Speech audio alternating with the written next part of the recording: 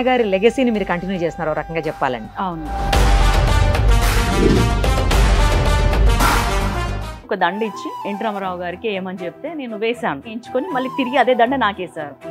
ఇంకా ఇంట్లో అందరు కూడా నీకు ఎన్టీ రామారావు గారికి పెళ్ళి అయిపోయింది అని. ప్రస్తుతం మనతో పాటు ఉన్నారు వరంగల్ పార్లమెంట్ స్థానం నుంచి కాంగ్రెస్ పార్టీ తరఫున పోటీ చేస్తున్నటువంటి డాక్టర్ కడియం కావ్య గారు. ఒక్కసారి ఆమెతో మాట్లాడదాం. నమస్తే అండి కావ్య గారు. నమస్తే అండి. ఎలా ఉన్నారు? ఫైన్ అండి. మీరు ఎలా ఉన్నారు? Fine thank you. Thank you నాకు కూడా చాలా హ్యాపీగా ఉంది. ఒక యంగ్ కంటెస్టెంట్ని కలుస్తున్నందుకు. తర్వాత అది కూడా డాక్టర్ పైగా.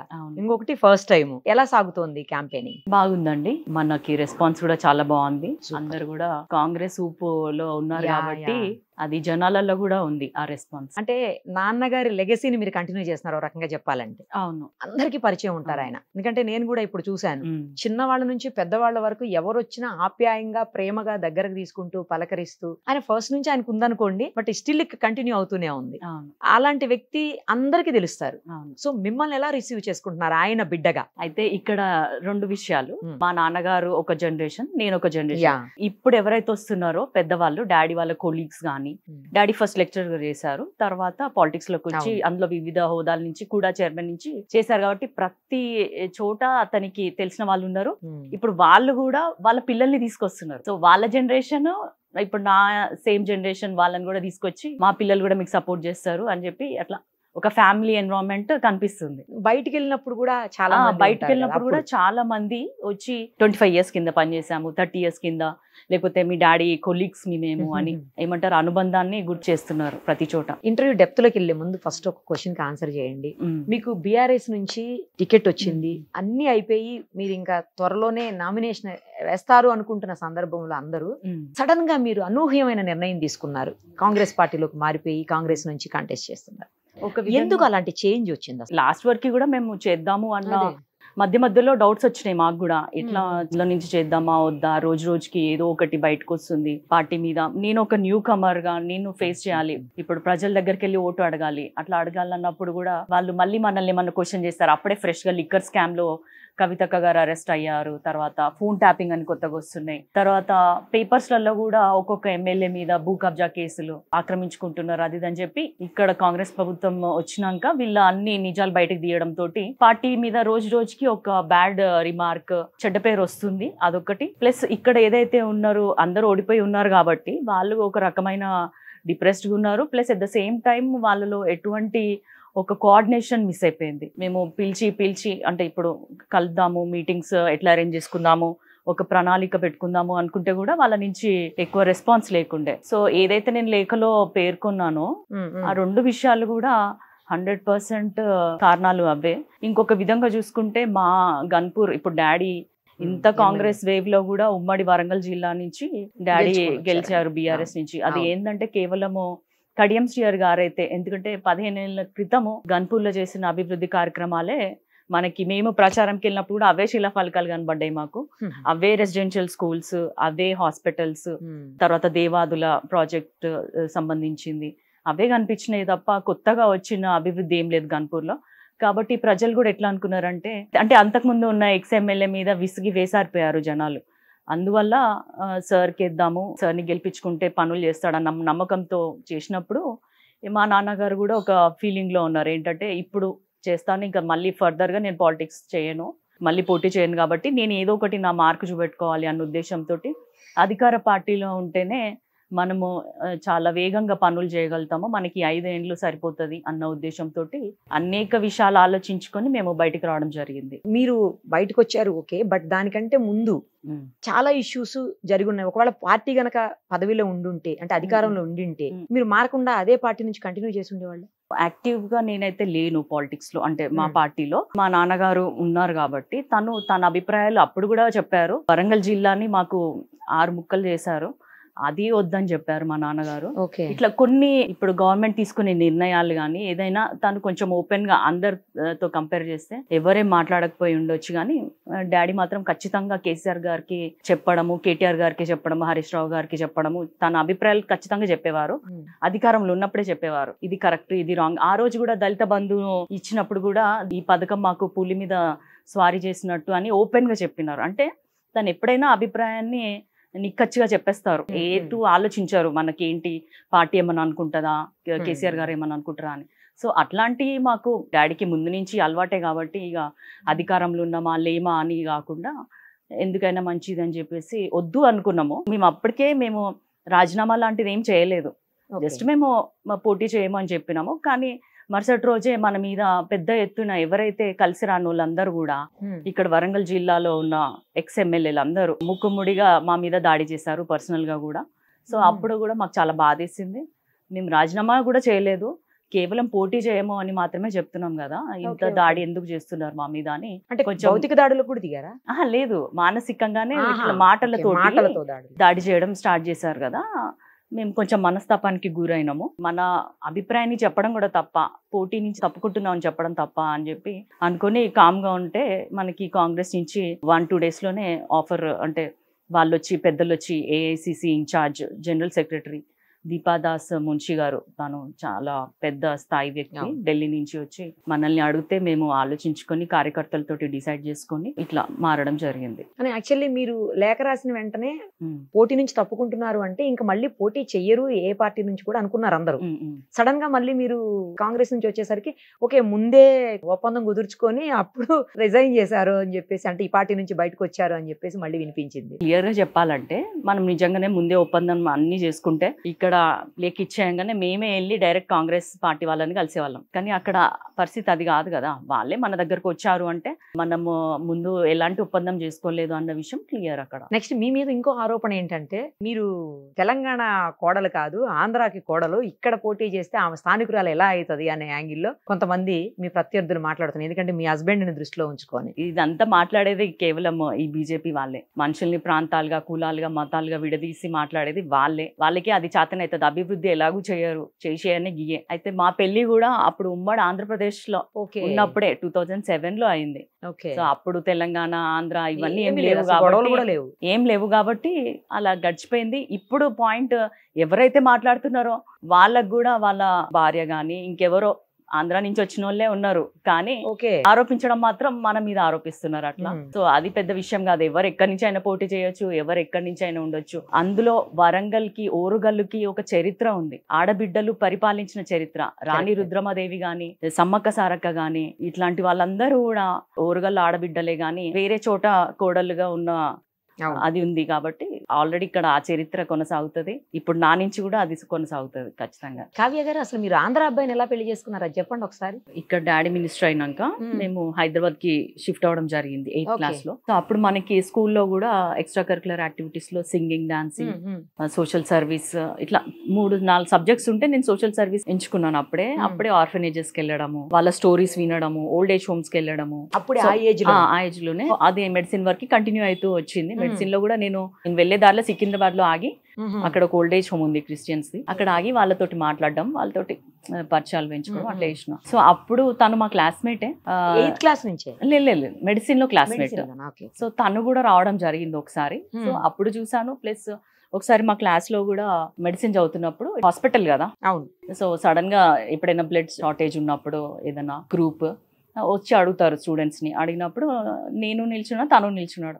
సో ఆ అబ్బాయికి కూడా కొంచెం సోషల్ యాంగిల్ ఉంది. రెస్పాన్సిబిలిటీ ఉంది అని చెప్పి అట్లా స్టార్ట్ చేసుకున్నాము. తర్వాత మేమిద్దరం కూడా ఒక సాంగ్ మెడిసిన్ కాలేజ్లో కాలేజ్ ఫంక్షన్ కాలేజ్ ఫంక్షన్లో కలిసి పాడడం జరిగింది. అప్పటి నుంచి తను ఆ ఏజ్ నుంచి ఇక నన్ను ఫ్రెండ్లీగానే ఉంటూ ప్రోత్సహించడం జరిగింది సోషల్ యాక్టివిటీస్లో కానీ ఇట్లా సొసైటీకి ఇట్లా చేద్దాము అట్లా చేద్దాము అని. సో ఇద్దరం కూడా ఒకటే యాంగిల్లో ఆలోచిస్తున్నాము అని అనిపించి కంప్లీట్గా వేరే కమ్యూనిటీ యాక్చువల్గా మతం. కూడా కదా? అయితే రిలీజియనే డిఫరెంట్ అవునవును అవన్నీ ఇంకా కనిపించలేదు. ప్లస్ తను? నాకంటే స్వచ్ఛమైన తెలుగు మాట్లాడతాడు. కాబట్టి నాకు ఏనాడు కూడా తను వేరే అబ్బాయి అనిపించలేదు. ఆంధ్ర వాళ్ళు బాగా మాట్లాడతారు. అదే కదా. తెలుగు. అంటే ఈ లాంగ్వేజ్ వేరే నిజమే నేను అబ్జర్వ్ చేసిన ఇక్కడ ఉన్న వాళ్ళు వేరేలా కొంచెం డిఫరెంట్ ఉంటుంది. డిఫరెంట్ అక్కడ వాళ్ళు స్వచ్ఛమైన తెలుగు మాట్లాడతారు. నాన్నగారు మంచి పొజిషన్లో ఉన్నారు కదా. అవునవును. అట్లా యాక్సెప్ట్ చేశారా మరి మ్యారేజ్ ఇష్యూస్ గొడవలు ఒకటి? ఒకటి మా ఎంగేజ్మెంట్ కూడా April fourteenth doctor BR Ambedkar గారి జయంతి రోజున జరిగింది. సో మా నాన్నగారు ఒక విధంగా తాను ఎంత క్లీన్ ఇమేజ్ తోటి ఉన్నారో అంత క్లారిటీ ఆఫ్ థాట్ తోటి కూడా ఉంటారు. సరే అమ్మాయి ఇష్టపడింది తన హ్యాపీనెస్ ఇంపార్టెంట్ అని చెప్పి డాక్టర్ బిఆర్ అంబేద్కర్ గురించి చెప్తారు. చాలా మంది గొప్పగా కులము మతము లేదని చాలా. గొప్పగా చెప్తారు. Practice before you preach daddy daddy గారు చేతల్లో చూపించారు. ఓకే వన్ టూ డేస్ కొంచెం తను ఇబ్బంది పడ్డారు. But the end of the day okay అనుకున్నారు. వాళ్ళ పేరెంట్స్ వచ్చి మాట్లాడారు. అంతా స్పెషల్ మ్యారేజ్ యాక్ట్ లెక్కనే చేసేసుకున్నాం మ్యారేజ్. అంత బానే ఉంటారండి అంతా బాగుంటుంది. మా అత్తమ్మ వాళ్ళు కూడా చాలా బాగా చూసుకుంటారు. సో కుల మతాలకు అతీతంగా అతీతమే నిజంగా. ఆ భేదం అనేది లేకుండా చేసుకున్నారు. గ్రేట్ అసలు. అటు నుంచి కూడా మనకేం ప్రెషర్స్ ఉండవు. కూల్గా ఉంటది. ఇప్పుడు రెండు ఫెస్టివల్స్ చేసుకుంటారా? ఇంట్లో ఎట్లా? రెండు కాదు మూడు చేసుకుంటాం మేము. మూడు చేస్తారా? హిందూ ఫెస్టివల్స్ చేసుకుంటాము ఓకే. ఒకటి రంజాన్ చేసుకుంటాము. క్రిస్మస్ కూడా చేసుకుంటాం. రంజాన్కి మీరు కూడా రోజా ఉంటారా? లేదు నేను ఏది కూడా ప్రాక్టీస్ చేయలేదు ఒక విధంగా. వాళ్ళవి నేను మొత్తం పూర్తిగా నాలాగే ఉంటాను. ఆంటీ వాళ్ళు చేసుకున్నప్పుడు వెళ్ళి జస్ట్ మనం తినేసి రావడం. క్రిస్మస్ అంటే నేను క్రిస్టియన్ స్కూల్లో చదువుకున్నాను చదువుకున్నారు కదా. సెంట్ ఆన్స్ అప్పుడప్పుడు చర్చెస్కి వెళ్ళడము అన్ని చేస్తాం? కాబట్టి. అంటే ఎప్పుడైనా కుదిరినప్పుడు ఆ క్రిస్మస్ రోజు అట్లా వెళ్ళేసి.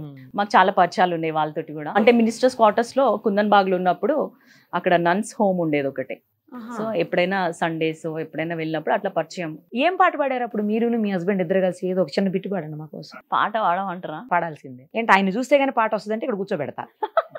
అప్పుడు ఉన్నంత అదిగా రా పర్వాలేదు కొంచెం పాడండి మాకు. కవితో నజర్ మిలావు కవితో ఖరీబ్ ఆవు కవితో నజర్ మిలావు కవితో ఖరీబ్ ఆవు.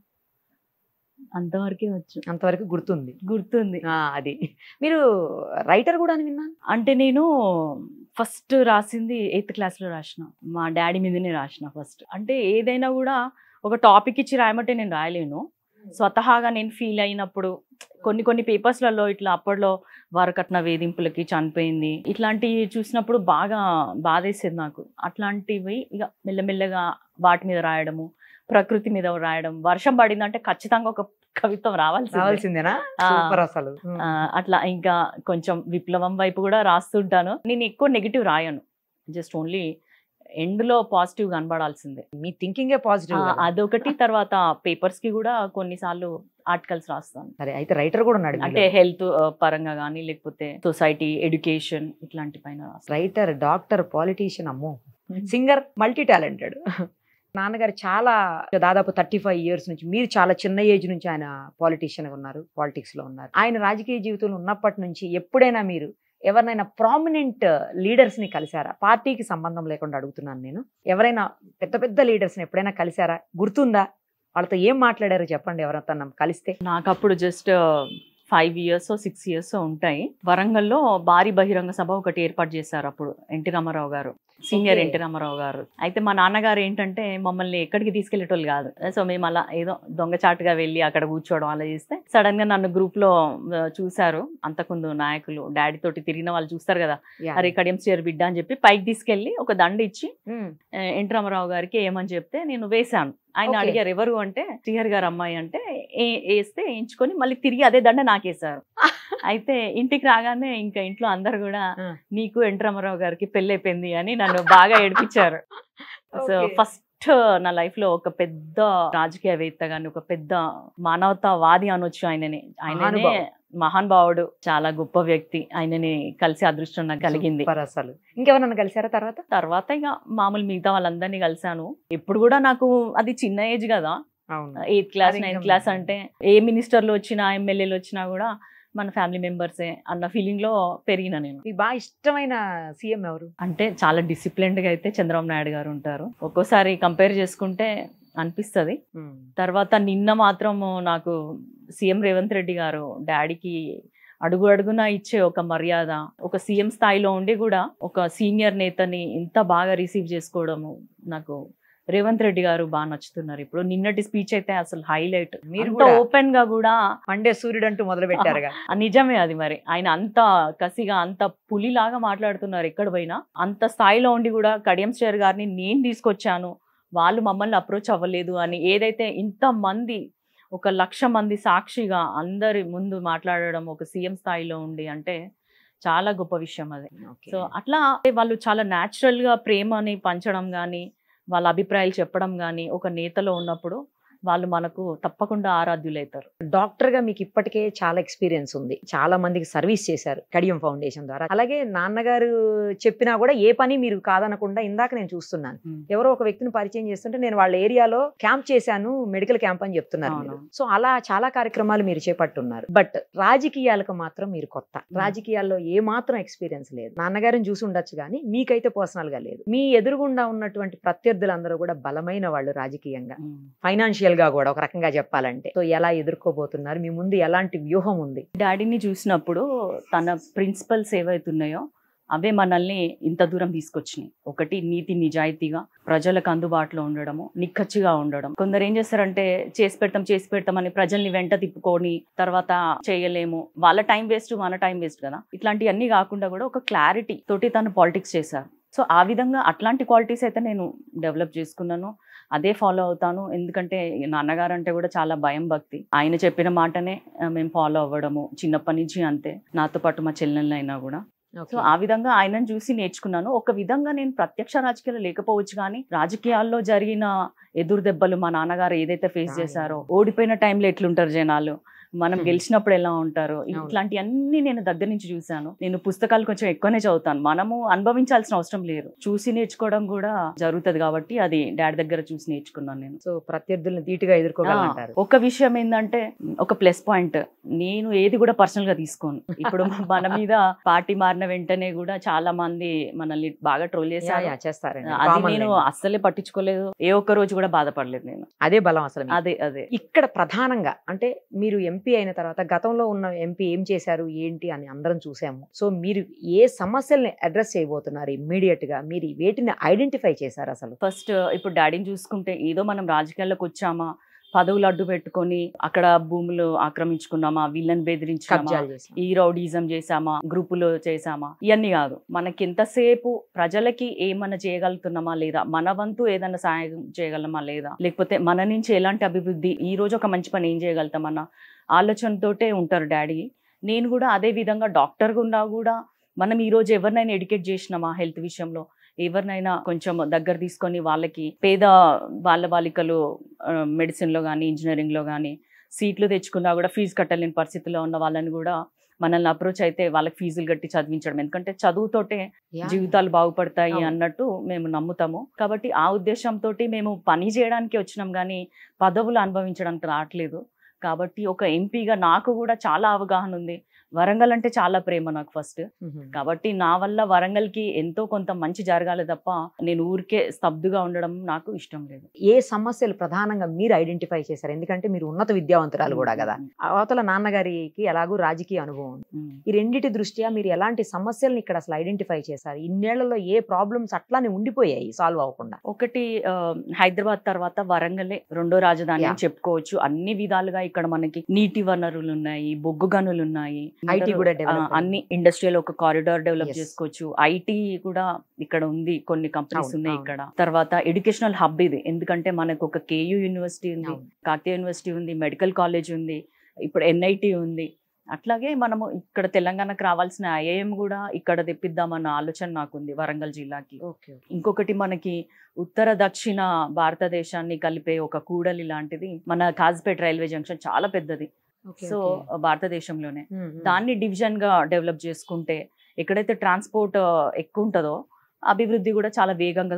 సాగుతుంది అనేది మన అందరికి తెలుసు. సో దాన్ని డివిజన్గా చేయడము ఒకటి మామ్నూర్ ఎయిర్పోర్ట్ని డెవలప్ చేయడము ఇంకా ఓఆర్ఆర్ చేయడము. ఇక్కడ నేను కడియం ఫౌండేషన్లో నుంచి ఎక్కువ గవర్నమెంట్ స్కూల్స్కి వెళ్ళడం జరిగింది. అక్కడ పిల్లల్ని. పలకరించడం వాళ్ళకి మెన్స్ట్రల్ హైజీన్ మీద అవేర్నెస్ తేవడము. అక్కడ వాళ్ళ టాయిలెట్స్ ఎట్లున్నాయి బిల్డింగ్ ఎట్లుంది ఇన్ఫ్రాస్ట్రక్చర్ ఎట్లుంది అని గవర్నమెంట్ స్కూల్స్ మీద ఐడియా ఉంది. అట్ ద సేమ్ టైం నేను గవర్నమెంట్ డాక్టర్గా ఆరేళ్ళు సర్వీస్ చేశాను కాబట్టి ఒక గవర్నమెంట్ హాస్పిటల్లో ఎలాంటి సౌకర్యాలు ఉన్నాయి ఏ మేరకు మనం దాన్ని డెవలప్ చేయగలము? చాలా చేయొచ్చు. మనం నెంబర్ పెంచాల్సిన అవసరం లేదు హాస్పిటల్స్కి. ఉన్న దాంట్లో క్వాలిటీ. మెయింటైన్ చేసుకుంటే సరిపోతుంది. ఏమైతే పేరుకి హాస్పిటల్ ఉంటది కానీ Hmm. అక్కడ ఏ సౌకర్యాలు ఉండక మళ్ళీ హయ్యర్ సెంటర్స్కి రిఫర్ చేయాల్సిన పరిస్థితి. ఉంటది కాబట్టి ఈ రెండింటిపైన నాకు పూర్తి అవగాహన ఉంది. అదొకటి. ఇంకా మనం ఎట్లాగో మహిళల కోసం చాలా చేసినాం. గర్భిణీ స్త్రీలకి రక్తహీనత రాకుండా వాళ్ళు ఎలాంటి జాగ్రత్తలు తీసుకోవచ్చు అని అప్పుడు న్యూట్రిషన్ కిట్ కూడా ఇవ్వడం జరిగింది మనం. మన సైడ్ నుంచి బెల్లం పల్లి పట్టీలు ఇట్లాంటి. సో అనేక వాటిపైన ఐడియా ఉంది. ఇంకొకటి మన విభజన చట్టం ఒకటి ఉంది మన తెలంగాణ సపరేట్ అయినప్పుడు. అందులో రైల్వే కోచ్ ఫ్యాక్టరీ ఒకటి. ఎప్పటి నుంచో అలాగే. పెండింగ్ అదే పెండింగ్. ఉంది తర్వాత ఇప్పుడు మన లెదర్ పార్క్ ఒకటి డెవలప్ చేసుకున్నా టెక్స్టైల్ పార్క్ డెవలప్ చేసుకున్నా ఇక్కడ యువతకి గాని మహిళలకు గాని ఉపాధి కలిగించే విషయంగా చాలా ఉన్నాయి ఇక్కడ చేసుకోవాల్సినవి పెండింగ్లో ఉన్నాయి అన్ని. ఏంటంటే మన దురదృష్టము కేంద్రంలో బీజేపీ పదేళ్ళ నుంచి అధికారంలో ఉన్నా కూడా ఒక్క పని మన దక్షిణాది రాష్ట్రాలకి తెలంగాణకి కానీ వరంగల్కి కానీ చేసింది ఏమీ లేదు. ఒక్క విద్యా సంస్థను కూడా తేలేదు. అసలు ఇక్కడ ఇచ్చిన నిధులు కానీ ప్రాజెక్ట్స్ కానీ లేకపోతే ఇండస్ట్రీస్ కానీ జీరో. కాబట్టి ఇక్కడున్న పెండింగ్ ఇష్యూస్ని ఫస్ట్ సాల్వ్ చేసుకోవడము తర్వాత నెక్స్ట్ ఇంకేమైనా చేయగలుగుతామా? ఎమ్మెల్యేలకి కావాల్సిన అవసరాలు ఉంటాయి కదా నియోజకవర్గాల. స్థాయిగా. అప్పుడు వాటిని డెవలప్ చేసుకోవడం చేస్తాను. మొత్తం ఏడు నియోజకవర్గాల పరిధిలో ఉన్నటువంటి ఎమ్మెల్యేల నుంచి కూడా సహకారం ఉందా? చాలా బాగుందండి. అందరు కూడా ఒక చెల్లె లెక్క బిడ్డ లెక్క. ట్రీట్ చేస్తున్నారు. ఎక్కడ పోయినా కూడా జాగ్రత్త చూసుకుంటున్నారు మీటింగ్స్. లలో వాళ్ళు కూడా చాలా పట్టుదలతో ఉన్నారు. ఎందుకంటే వాళ్ళు మొన్ననే ఎలక్ట్ అయ్యారు. వాళ్ళకి వచ్చిన మెజార్టీ కంటే డబుల్ మెజార్టీ తెస్తామన్న జోష్లో ఉన్నారు. ఎందుకంటే మాకు సీఎం రేవంత్ రెడ్డి గారు కూడా మీటింగ్లో చెప్పారు. ఎవరైతే అధిక మెజార్టీ తెస్తారో వాళ్ళకి ఫస్ట్ ప్రయారిటీ ఇచ్చి వాళ్ళకి ఎక్కువ నిధులు ఇస్తాను వాళ్ళ నియోజకవర్గానికి అనేసరికి వీళ్ళందరూ కూడా వాళ్ళకి చాలా పెండింగ్ ఉన్నాయి కదా. ఆ, అంతకుముందు. ప్రభుత్వంలో మన ముఖ్యమంత్రి గారు ఎక్కువ అందుబాటులో లేకపోవడం వలన ఎక్కువ పనులు జరగలేదు. ఇక్కడ వరంగల్లో అయితే ఇంకొక మెయిన్ సమస్య అండర్ గ్రౌండ్ డ్రైనేజ్ సిస్టమ్ అండి. అది కూడా చేయాలి. సో అవన్నీ కూడా నిన్న మీటింగ్లో సీఎం గారు ప్రామిస్ చేశారు ఖచ్చితంగా ఇవన్నీ నేను చేసి. పెడతానని కాబట్టి ఆ విధంగా వీళ్ళందరూ కూడా మనతోటి చాలా బాగున్నారు జోష్గా పనిచేస్తున్నారు యాక్చువల్లీ మీరు డాక్టర్గా చాలా అంటే ఎక్కడన్నా మనం చూస్తుంటాం డాక్టర్స్ అంటే చాలా సాఫ్ట్ నేచర్ ఉంటది అఫ్ కోర్స్ ప్రజలతో మమేకం అవుతారు కానీ బట్ సాఫ్ట్గా ఉంటారు ఎక్కడ కూడా. పాలిటిక్స్ దానికి చాలా భిన్నంగా ఉంటాయి చాలా అగ్రెసివ్గా మ్మ్. ఎదుటి వాళ్ళ మీద దాడులు చేస్తూ భౌతికంగా కాదు మానసికంగా మాటలతోటి తర్వాత ఇష్టానికి మాట్లాడుతూ చాలా ఘోరమైనటువంటి సిచ్యువేషన్స్ చూస్తున్నాం. మరి మీరు ఇవన్నీ ఫేస్ చేయగలరా? రెండు ఉండాలి.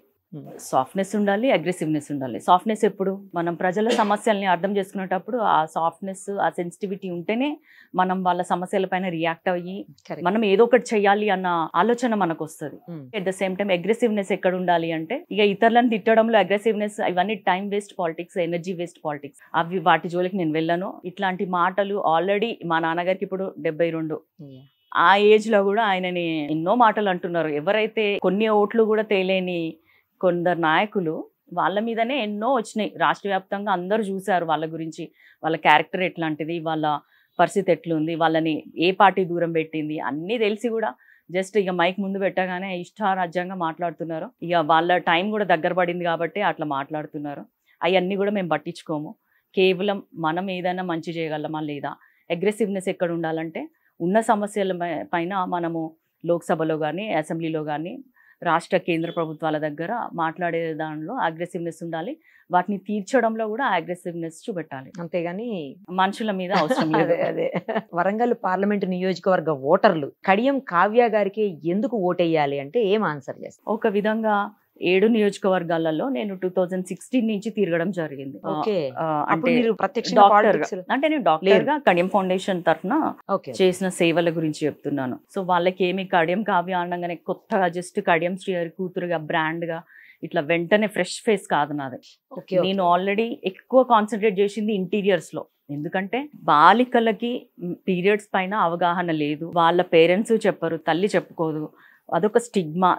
సొసైటీలో. సో దాని వల్ల ఫేస్ చేసే అనేక ప్రాబ్లమ్స్ ఏంటి ఫ్యూచర్లో ఇట్లాంటి నేను చెప్పాలి ఒక డాక్టర్గా వచ్చి డాక్టర్ దగ్గర ఒక పేషెంట్ వస్తేనే రెండు నిమిషాలు ఐదు నిమిషాల కంటే ఎక్కువ టైం ఇయ్యరు.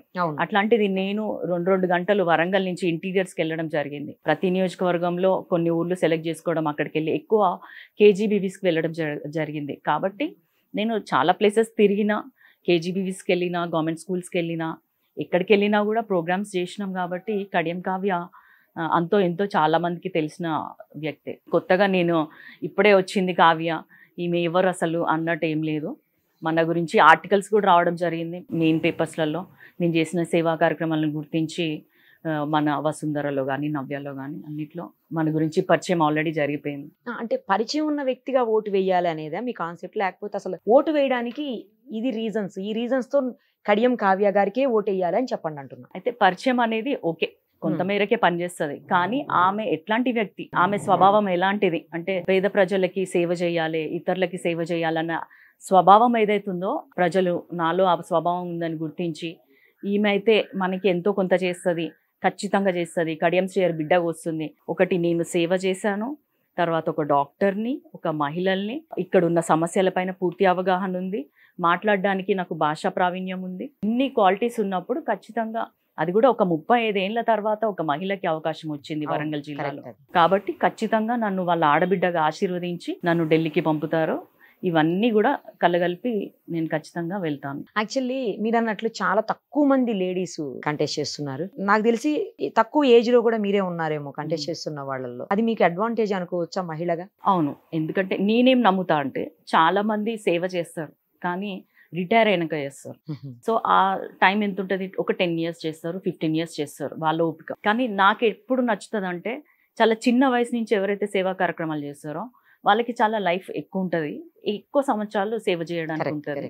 అందరూ రారు సొసైటీకి ఏదో చేద్దాము అన్నట్టు అందరికీ ఉండదు. సో అట్లా చేసినప్పుడు చిన్న వయసులో వచ్చిన వాళ్ళకి ఎక్కువ టైం ఉంటుంది సేవ చేయడానికి. ఎక్కువ ఇయర్స్ కూడా వాళ్ళు చేయడానికి సిద్ధంగా ఉంటారు. నాన్నగారికి చాలా క్లీన్ చిట్ ఉంది పాలిటిక్స్లో అందరికి హెల్ప్ చేస్తారని. ఎవరు కూడా ఆయన్ని పెద్దగా టార్గెట్ చేయడం కానీ లేకపోతే ఆయన ఏదో అనడం కానీ లేకపోతే ఆయన మీద ఏదో ఆరోపణలు కూడా పెద్దగా కనిపించవు. ఆయన నేళ్ళ ఆయన రాజకీయ జీవితంలో. సో అది మీరు ఏ రకంగా మీరు పాజిటివ్గా మార్చుకొని పబ్లిక్లోకి తీసుకెళ్ళబోతున్నారు దాన్ని పబ్లిక్ నుంచి ఓట్లని పాజిటివ్గా ఎలా మార్చుకోబోతున్నారు మీరు? నాన్నగారు నేను సెవెంత్లో ఉన్నప్పుడు ఫస్ట్ మినిస్టర్ అయి నైన్ ఇయర్స్ చేశారు. తర్వాత మెడిసిన్ అయిపోయింది. జాబ్ చేస్తున్నప్పుడు డిప్యూటీ సీఎం గా చేశారు. ఓకే. అంటే ఊహ తెలిసినాక కూడా మా నాన్నగారు ఎప్పుడు మమ్మల్ని పాలిటిక్స్లో ఇట్లా ఇప్పుడు చాలా ఫ్యామిలీస్లో చూస్తాము. వాళ్ళ ఫ్యామిలీ మెంబర్సే రన్ చేస్తుంటారు షో అంతా. అట్లాంటి ఎప్పుడు చేయలేదు మా నాన్నగారు. అంటే ఎవరైతే ప్రతినిధిగా ఉంటారో వాళ్ళే ఉండాలి. కుటుంబ సభ్యులు ఇన్వాల్వ్మెంట్ ఉండకూడదు అన్నట్టు పెంచారు. కానీ ఇప్పుడు ఒక నన్ను separate గా ఒక ఎంపీ గా తీసుకొచ్చారు తప్ప మాకు ముందు నుంచి ఇట్లా వీటిలో ఇన్వాల్వ్ అవ్వడము లేకపోతే ఇంకేదో కార్యక్రమాలు చేయడము చాలా మంది షో చేయడము తర్వాత కాంట్రాక్టులు తీసుకోవడము కబ్జాలు చేయడము అంత ఫ్యామిలీ మెంబర్స్ తోటే కదా చేసేది ఇవన్నీ. సో అట్లాంటివి ఏం చేయలేదు కాబట్టి అంత క్లీన్గా ఉన్నాము. ఇప్పుడు కూడా అంతే క్లీన్గా ఉంటాము. ఆయన ఎప్పుడు కూడా నన్ను కంట కనబెడతానే ఉంటారు. ప్లస్ అందులో తనకి తన ఇమేజ్ ఇంపార్టెంట్ కదా. థర్టీ ఫైవ్ ఇయర్స్ నుంచి ఒక చిన్న ఫ్యామిలీ నుంచి వచ్చినప్పుడు దళితుడుగా అట్లాంటి అతనికి చెడ్డ పేరు రావద్దు అన్నప్పుడు తనకి నా మీద నమ్మకం కలిగినాకనే నన్ను politics లోకి ఎంట్రీ చేపించారు. ఇప్పుడు ఇక్కడ కుల సమీకరణాలు కూడా. ఎంతవరకు వర్కౌట్ అవుతాయండి ఖచ్చితంగా ఇప్పుడు ఎస్సీ అందరూ కూడా కాంగ్రెస్కి ఫేవర్ ఎప్పుడైనా కూడా కాంగ్రెసే వాళ్ళని కాస్త ప్రోత్సహిస్తుంది అదొక సెక్యులర్ స్టే కంట్రీ అనేది మనం ముందుకు తీసుకొస్తాం ఇప్పుడు ఏదైతే నరేంద్ర మోడీ గారు మళ్ళీ నాకు నాలుగు వందల సీట్లు వస్తాయి నేను. రాజ్యాంగాన్ని. మారుస్తా ఇప్పటికే చూస్తుంటాం దళితుల్ని వేరే రాష్ట్రాలలో ఉత్తరప్రదేశ్ బీహార్ ఇట్లాంటి చోట్లలో చాలా ఘోరమైన స్థితిలో అట్రాసిటీస్ నడుస్తుంటాయి మన తెలంగాణలో అట్లా ఉండదు. ఒకటి ఎందుకంటే ప్లస్ ఈ కాంగ్రెస్ వల్లనే నేను చిన్నప్పుడు విన్నా పదేళ్ళకి ముందు ఇందిరమ్మ ఇల్లు అనేటోళ్ళు. అట్లాంటివి మళ్ళీ పదేళ్ళలో ఎక్కడ కూడా మనకి వీళ్ళకి ఇల్లు అనేది రాలేదు. చాలా డబుల్ బెడ్రూమ్స్ ఇచ్చామని చెప్తున్నారు కదా. కానీ అది ప్రభుత్వం. ఒక్- ఒక్కరికి కూడా చూపెట్టలేదు కదా ఖచ్చితంగా. సగం సగం అయినవి చూపించారు. అది కూడా వాళ్ళు ఎన్నైతే ప్రామిస్ చేశారో అందులో సగం కూడా కంప్లీట్ కాలేదు. కానీ ఇందిరమ్మ ఇల్లు ఏదైతే పక్కా ఉన్నాయో అవే ఇప్పటికీ నడుస్తున్నాయి. ఇప్పుడు మళ్ళీ రానున్న ఐదేళ్ళలో కూడా ఇంకొక నాలుగు లక్షల ఇల్లులు ఇవ్వడానికి మన కాంగ్రెస్ ప్రభుత్వం సిద్ధంగా ఉంది. మీరు ఇక్కడ ప్రధాన ప్రత్యర్థిగా బీఆర్ఎస్ని భావిస్తున్నారా? బీజేపీని భావిస్తున్నారా? అసలు బీఆర్ఎస్ జీరో అయిపోయిందండి. వాళ్ళు ఎవరినైతే ఒక అభ్యర్థి ఎన్నుకున్నారో అతను కనీసము ఇక్కడ ఓటర్ కూడా కాదు. సరే ఎవరు ఎక్కడి నుంచి అయినా పోటీ చేయొచ్చు. కానీ అంత లోపాయికార ఒప్పందం ఎందుకు? అంటే బీజేపీని గెలిపించుకోవాలి కడియం శ్రేణి మా దగ్గర నుంచి వెళ్ళిపోయింది కాబట్టి. ఖచ్చితంగా వాళ్ళైతే గెలవద్దు అన్న ఉద్దేశంతో మా అభ్యర్థి గెలిచేది లేదు ఏం లేదు. కనీసం పక్కనోడికైనా గెలిపిద్దాము. పోయినోడు మనోడే. మనం అందరం కలిసి దందాలు చేసినాము. బీజేపీ అభ్యర్థితోటి మనం దందాలం దందాలు చేసుకున్నాము. మనకి ఇప్పటికీ కాంటాక్ట్స్ ఉన్నాయి మనకి అంతో ఇంతో పైసలు ఇస్తాడు అన్న ఉద్దేశంతో నేను అంతే అడుగుతున్నా. బీఆర్ఎస్ వాళ్ళు కనీసం డిపాజిట్ అనేది తెచ్చుకోండి మీరు. అది కూడా లేదు పరిస్థితి. కేవలం ఈయనకే కొమ్ము కాస్తున్నట్టు చేస్తున్నారు. బీజేపీ అభ్యర్థి ఎవరైతే ఉన్నారో ఆయన మొన్న డమ్మీని పెట్టారు అన్నట్టు ఆ డమ్మీనే పెట్టారు. బీజే అది చిన్న పిల్లలకు కూడా అర్థమవుతుంది. ఎందుకంటే ఆయన ముక్కు మొహం ఎవరికి తెలియదు బీజేపీ అభ్యర్థి ఎవరైతే ఉన్నారో ఆయన అంతకుముందే మొన్న ఘోరంగా ఓడిపోయినారు. ఆయనను వర్ధన్పేట ప్రజలు మాకొద్దు ఈయన అని చెప్పి ఓడించడం జరిగింది. కొత్త అతన్ని తీసుకొచ్చిన కాంగ్రెస్ పార్టీని కొత్త వ్యక్తిని వాళ్ళు ఎన్నుకోవడం జరిగింది. వర్ధనపేట ప్రజలు. ఈయన పదేళ్ళు చేసిండు. మరి పదేళ్ళలో కూడా ఎక్కడ చూసినా కూడా మన మైన్స్ కానీ క్వారీస్ కానీ క్రషర్స్ కానీ తర్వాత కబ్జాలు కానీ ఏదైనా కొత్త వెంచర్ పడిందంటే ఇక నైట్కి నైట్ కాల్ వెళ్ళిపోయి మాకు ఇంత కావాలి మాకు రాసి పెట్టండి. ఇలాంటి బెదిరింపు చర్యలు. ఆయనకి ల్యాండ్ కబ్జా చేసుకోవడానికి తన మన భేదం ఏమి ఉండదు ఇంకా మన కార్యకర్త పక్కన కార్యకర్త ఏమి ఉండదు. అట్లాంటి వ్యక్తిని వాళ్ళు వద్దనుకున్నారు. ఆయన ఆగడాలు భరించలేక. ఆయనను మళ్ళీ తీసుకొచ్చి బీజేపీ ఈ వరంగల్ లోక్సభ పరిధిలో రుద్దడానికి ట్రై చేస్తుంది కానీ ఆయన ఖచ్చితంగా ఆయనకు కూడా డిపాజిట్ వస్తుందో రాదో డౌట్. మరి అంతటి దందాలు అలాంటి ఇల్లీగల్ యాక్టివిటీస్ చేస్తున్నప్పుడు ప్రభుత్వం మీదే ఉంది కదా? ఎందుకు వదిలిపెట్టేస్తున్నారు? ఆయన అంటే అప్పుడు ఆయన అదే ప్రభుత్వంలో ఉన్నాడు కదా. ఇప్పుడు వచ్చిన తర్వాత మీరు ఎందుకు చర్యలు తీసుకుంటారు ఇప్పుడు తీసుకుంటారు. ఇప్పుడు కాంగ్రెస్ ప్రభుత్వం అదే ఉద్దేశంతో ఉంది. ఇప్పుడు ఫర్ ఎగ్జాంపుల్ భూపాల్పల్లిలో కూడా ఆయన గుట్టలు మైన్స్ అన్నీ ఉన్నాయంట. అవన్నీ సీజ్ చేపిచ్చేస్తారు. ప్లస్ ఎక్కడైతే మనకు వీళ్ళు అక్రమాలు చేసినట్టుగా అనిపించినాయి ఇప్పుడు అందుకే కదా ఒక్కొక్కటి బయటకు వస్తుంది. ఇప్పుడు కాంగ్రెస్ ప్రభుత్వం అదే ఉద్దేశంతో ఉంది. ఎవరైతే అది ఇట్లాంటివి ఎన్ని చేసి వాళ్ళ మీద ప్రూఫ్స్ ఉన్నాయంటే ఖచ్చితంగా వాళ్ళని జైలుకి పంపించడానికి కాంగ్రెస్ ప్రభుత్వం చాలా సీరియస్గా ఉంది. నాన్నగారికి చాలా ఉన్నత పదవులు ఇచ్చి మేము ఎక్కడో కూర్చోబెట్టాము. సీఎం గారితో పాటు ఈక్వల్గా చూసాము ఆయన్ని. అలాంటి వ్యక్తి మా పార్టీ జెండాతోటి గెలిచి మమ్మల్ని ముంచేసి ఇప్పుడు కూతురు కోసం ఆయన పార్టీ మారారు అని చెప్పేసి మాట్లాడుతున్నారు కొంతమంది.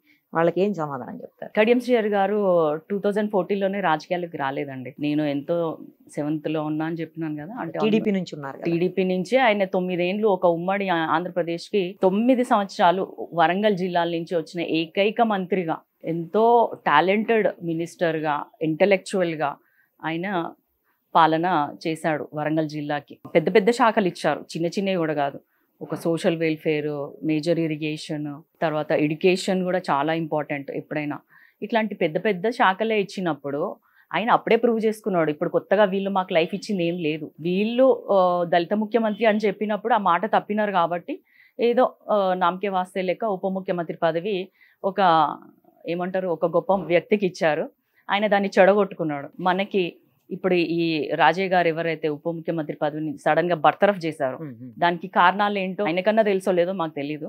అట్లాంటప్పుడు ఇంకొక మంచి పేరున్న వ్యక్తిని పెడితేనే మనల్ని జనాలు ఏమన్నారు అన్న ఉద్దేశంతో పెట్టడం జరిగిందని రాగానే ఏమి మనకి ఉప ముఖ్యమంత్రి పదవి ఇవ్వలేదు వాళ్ళదేదో కాపాడుకోవడానికి డాడీకి ఇచ్చారు. ఎట్ ద సేమ్ టైం ఆయన కూడా అంతే బాధ్యతగా దాంట్లో అన్ని రెసిడెన్షియల్ స్కూల్స్ ముస్లిమ్స్కి కానీ మైనారిటీస్కి అన్ని రకాలుగా వాళ్ళు మెన్యూ తయారు చేయడం కూడా రక్తహీనత రాకుండా పిల్లలకి. తర్వాత ఈ మెన్స్ట్రల్ హైజీన్ నేను ఏదైతే చేశానో. అది ఒక father గా తను చూశారు మేము డిస్కస్ చేసుకున్నాక ఇట్లా ఆడపిల్లలు ఫస్ట్ క్లాస్లో ఉన్నంత స్ట్రెంత్ టెన్త్ వరకు ఉండట్లేదు అని చెప్పినప్పుడు. డ్రాప్ అవుట్స్ ఎక్కువ ఉంటున్నారు అని చెప్పినప్పుడు ఇది ఒక రీజన్ అని తెలిసినప్పుడు వాళ్ళకి కూడా హెల్త్ అండ్ హైజీన్ కిట్స్ ఇవ్వడం జరిగింది గవర్నమెంట్ తరఫున అది almost six point five lakhs అమ్మాయిలకి చేరుకున్నాయి ఓ సంవత్సరం పాటు. సో ఆ విధంగా తను ముందుకెళ్ళి పదవులని మంచిగా బాధ్యతాయుతంగా చేసినారు తప్ప వాళ్ళేదో మనల్ని హైలైట్ చేసింది ఏమీ లేదు. ఇట్లాంటివన్నీ ఓపెన్గా చెప్పడము వాళ్ళు చేసే పద్ధతులు కొన్ని నచ్చక చెప్పకపోవడం వల్ల మరి రెండోసారి మనకి కనీసం ఎమ్మెల్యే డైరెక్ట్ పాలిటిక్స్లో ఉండేటట్టు చేయలేదు కదా. ఒక ఎమ్మెల్యేగానో లేకపోతే ఎంపీగానో మనల్ని పంపించలేదు కేవలం ఒక పార్టీలో అట్లా కొనసాగినాం ఎమ్మెల్సీగా.